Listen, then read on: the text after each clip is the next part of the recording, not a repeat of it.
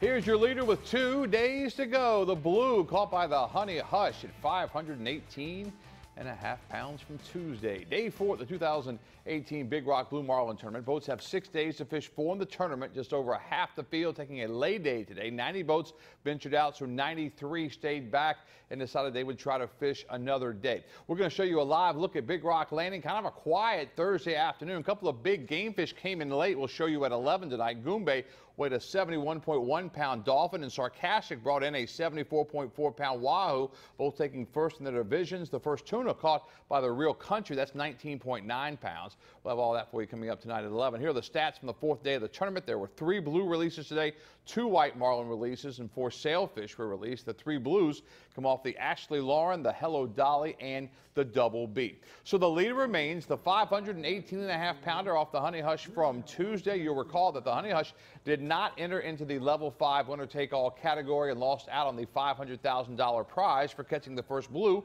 over 500 pounds. Still, the Honey Hush has the lead with just two days of fishing to go. They could be in line for some big time money. The Honey Hush 518 and a half. Also, the game changer in second place, 409.2, the rare breed from yesterday, 400.4.